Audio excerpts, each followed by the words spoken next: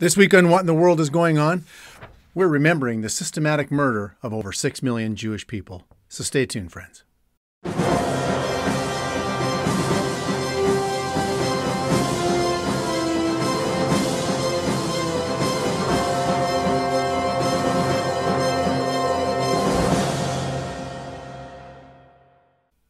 For those of you who may not know, the Friends of Israel have been around for some 82 years now. Yes, and it all began in 1938. The 1930s were a fragile time. Propaganda throughout Europe was already paving the way in dehumanizing the Jewish people. And in November 1938, Kristallnacht, Night of the Broken Glass, happened in Germany. Synagogues, homes, schools, and businesses of Jewish people were destroyed. And it was at this point things went from bad to worse. The Jewish people were ripped from their homes, put into ghettos, and sent to concentration camps where later more than 6 million would be systematically murdered.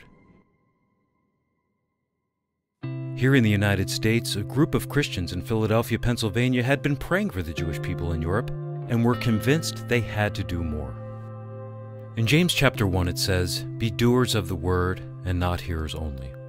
And that is what this group did. Something was stirred inside of them, and the Friends of Israel Refugee Relief Committee was born and they started to put their time and money into saving Jewish lives. But why would they do this? Because they knew from Scripture that the Jewish people are God's chosen and the apple of His eye. After all these years, the Friends of Israel Gospel Ministries mission has not changed, and the gospel is at the core of everything we do. Around the globe, our teams are serving Jewish people in need, providing food, medicine, clothing, personal care, and other basic necessities. Our free clinic in the heavily Jewish populated area of Buenos Aires, Argentina provides around the clock medical care for those in need. Bible camps in Poland and Israel for both children and adults give a safe place for learning God's Word. We support pastors and believers in Israel both spiritually and financially. Teams travel year round to areas of Eastern Europe providing daily necessities to Jewish people in oppressed areas. In Australia and New Zealand, we're opening our homes to traveling Israeli soldiers. Our workers around the world are serving the Jewish people in practical ways by volunteering in area Holocaust museums, Jewish community centers, and caring for Holocaust survivors and their families. Our Bible teachers share in churches and conferences that there is and always has been a clear plan, a past, present, and future for Israel and the Jewish people. Resources like Israel My Glory magazine, videos, books, and the Friends of Israel Today radio program are shared around the world, providing teaching on sound doctrine and a biblical perspective on current events surrounding Israel. The Friends of Israel Gospel Ministry loves bridging the Jewish community and Christians together. With anti Semitism on the rise, we need advocates in the Christian community to stand with the Jewish people.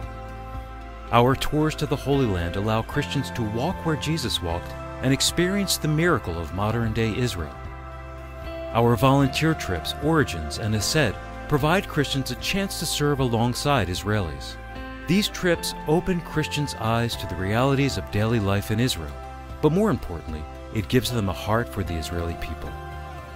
Our mission has stayed focused all of these years to teach biblical truth about Israel and the Messiah while loving and standing with the Jewish people. We believe God's promises to Israel are never ending, and the Friends of Israel Gospel Ministries message has not changed because the Word of God never changes. God has called us to reach the nations, and He has called us to love His chosen people, Israel.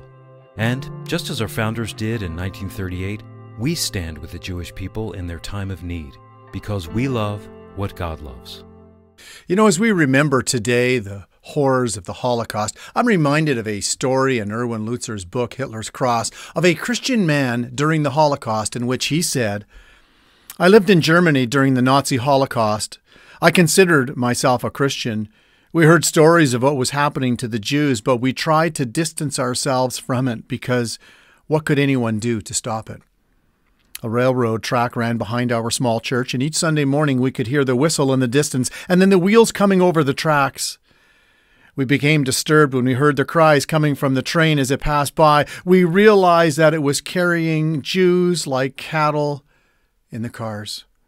Week after week, the whistle would blow. We dreaded to hear the sound of those wheels because we knew that we would hear the cries of the Jews en route to a death camp. Their screams tormented us. We knew the time the train was coming, and when we heard the whistle blow, we began singing hymns. By the time the train came past our church, we were singing at the top of our voices. If we heard the screams, we sang more loudly, and soon we heard them no more. Years have passed, and no one talks about it anymore but I can still hear that train whistle in my sleep. God forgive all of us who called ourselves Christians, yet did nothing to intervene.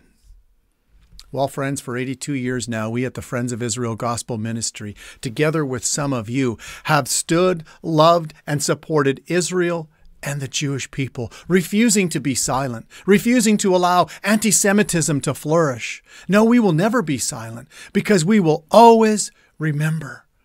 And so, friends, would you help us to continue to be a light to the Jewish community, to bring solid biblical teaching to the church, to combat replacement theology, and help us to combat anti Semitism on every front?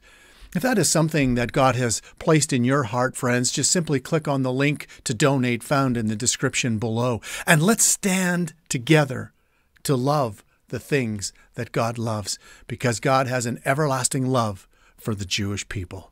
And so until next time, friends, this has been What in the World is Going On with the Friends of Israel Gospel Ministry. Have a good night.